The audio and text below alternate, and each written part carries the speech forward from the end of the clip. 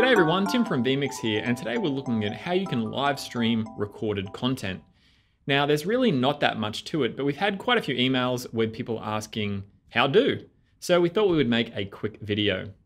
Basically, if you want to live stream recorded content like a video file, you just need to do four things in vMix. First, you just need to add the video file to your production, set up your stream, start the stream, and then start the video. Okay, thanks for watching and we'll stream you later. Thanks for watching. Click to watch another exciting... Oh, looks like you're still here, so we may as well go over how to do it. I mean, I've got nowhere else to be. I don't know about you. So anyway, let me just jump over to my laptop. As you can see here, I've got a Dell Alienware. Is one of the Sapphire reference systems on our website. So I'm just gonna start with a blank vMix production and show you how to set it all up.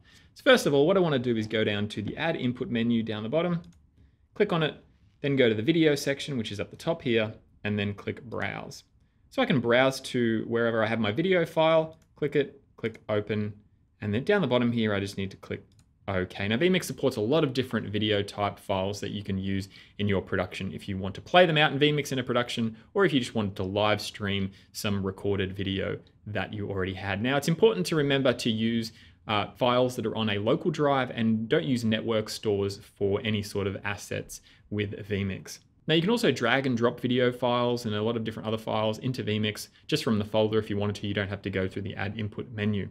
All right, so now we have our video file in the production. As you can see, because it's the only file that we have in here, it's going to be in the preview and in the program output here. All right, so I'm just going to go into the settings of the input by clicking the little gear icon and we'll go through a couple of the settings for the video file. Now at the top, you can change the name of it, so I could remove this if I wanted to. So now it's just called just a video. Now the important settings are down below here. So up the top here, you'll see a setting called automatically mix audio. Now, this is important because it's going to automatically turn on our audio when we move it from the preview to the program output. So that's what we want to do.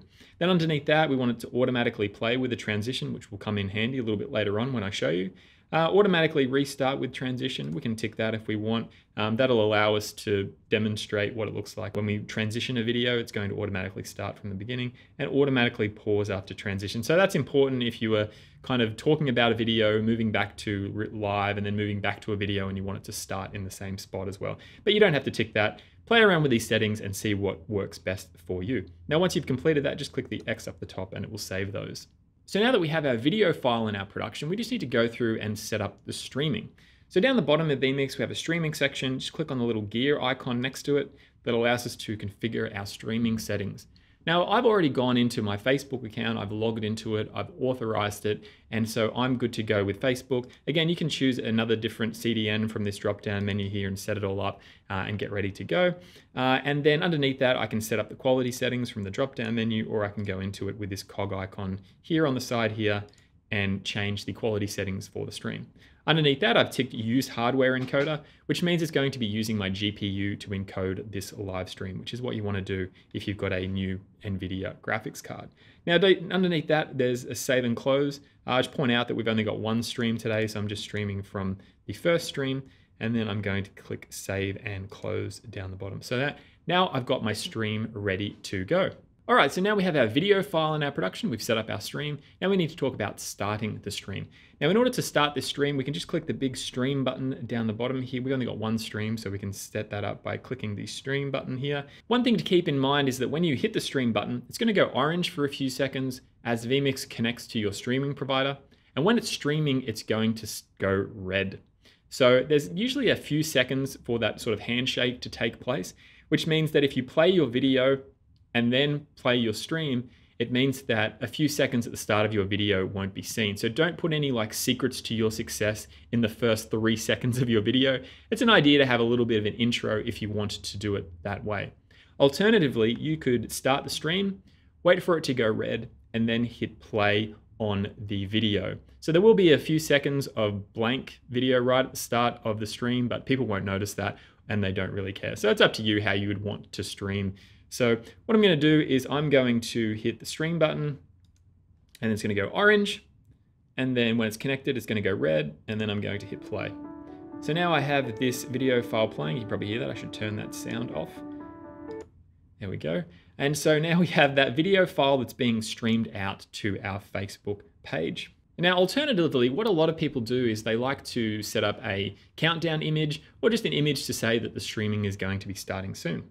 So what I'm going to do is just going to grab this image that I've created here, just drag this into vMix. As you can see here, I've got a little sign that says the show will start soon. So if I bring this across into the program output, that's what people would see on the stream when I started it. Now, again, you could go into the title section of vMix and add a countdown timer, and then just add that to the bottom and then once that hits the end of the countdown timer, you could set a trigger for it to switch to the video, or you could just do it manually. So for example, if I wanted, if I click start stream now, people will see this screen, and then all I need to do is transition to my video file like so. Now, as we set it up before to automatically restart when we transitioned, it started from the beginning again. Okay, so maybe you don't want to have to sit at your computer for the entire time while your video plays. You want to be able to go up maybe get a drink and grab yourself a Lamington or something like that. Um, so you want to be able to automate when the stream turns off. So what we can do is we can use vMix triggers. So all I need to do is go into the video file settings, go to triggers here, and then set up a trigger. So basically a trigger in vMix allows you to perform different functions on the input. So basically when the video starts, when it finishes, when it transitions, that kind of thing, uh, we can set up triggers to happen. So what we're gonna do now is on the completion of this video file, we're going to stop streaming. So I'm gonna go to the all section up here and find the stop streaming section here, like so. So now on the completion of the video, it's going to stop streaming. Now, we don't have multiple streams set up here, so we're just going to leave this blank. If you had, if you wanted to stop it on stream two or stream three, you could set that up here and follow the instructions in our um, knowledge base if you need more information about that. Okay, so I'm gonna click add. And so now we've got on completion, stop streaming. Just close this out now. So I'm just going to move to the end of this video so that we can set that up, stop streaming. So like no hands, five, four, three, two, one, it'll stop streaming automatically. So as you can see, it reached the end of the video and then my streaming stopped. So that's really handy if you want to be able to walk away, set up a video, let it stream, and just let it go and stop whenever the video finishes. Now you can also set up triggers at the start of that as well. So you could maybe have on transition in of the video, then start the stream. So you kind of start and stop the stream that way. Now we don't have a lot of automation in vMix for setting up 24-7 scheduling. vMix is not television station software. It's not designed to create time-based scheduling and that sort of thing. So if you're looking to run a TV station, there's plenty of other software and hardware out there that will help you do that. vMix isn't for that kind of thing.